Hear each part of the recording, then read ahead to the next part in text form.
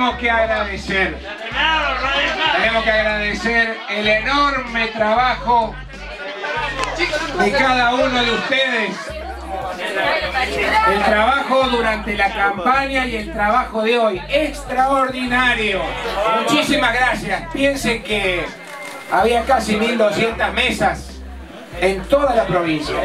Y había más de 250 o 300 casi escuelas que tenían que tener un responsable de escuelas. Gracias también a todos los que ayudaron con los vehículos particulares, aportando para movilizar.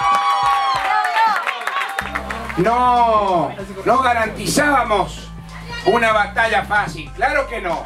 Hemos ganado la primera final. Esta primera final que es hoy 13 de agosto. Una final muy importante. Muy importante. Y ahora nos tenemos que preparar para los pasos que vienen. Para la segunda final. Siempre hablábamos que el 13 de agosto era la primera final y el 22 de octubre era la segunda final. Hemos ganado la primera final y nos vamos a preparar. Mañana se lo pueden tomar al día. El martes empezamos a trabajar para la segunda final. Vamos a seguir con, los, con el escrutinio.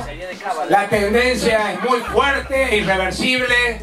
Ya se han escrutado más del 50%, 40-50% de, de los votantes y de las mesas y la diferencia supera el 20%, 20 puntos.